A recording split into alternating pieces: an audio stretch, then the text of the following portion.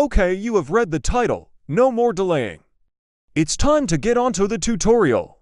Okay, we have teardrop here. Make sure the asset and limbs are on different layers. We will animate a sim- First add 20 for frames. Also the FPS is 12.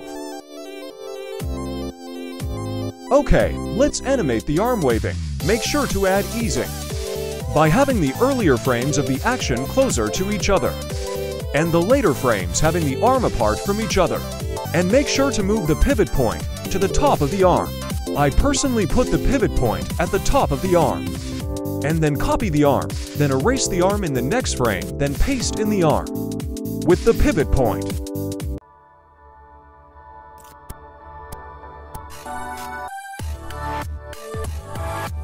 And then at the end of the action, make the arm go.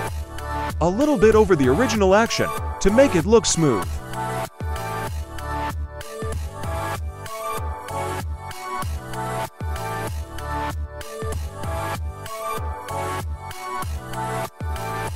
and then go to the frame before the wave, and make it go a little back in preparation for the action.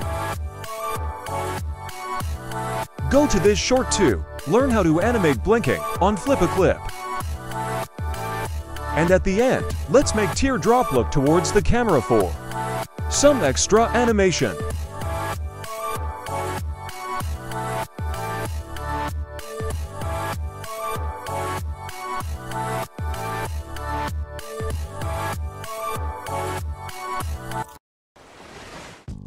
And while Teardrop is waving, let's change her other arm to the curved arm and then rotate it a little up like how we did the wave.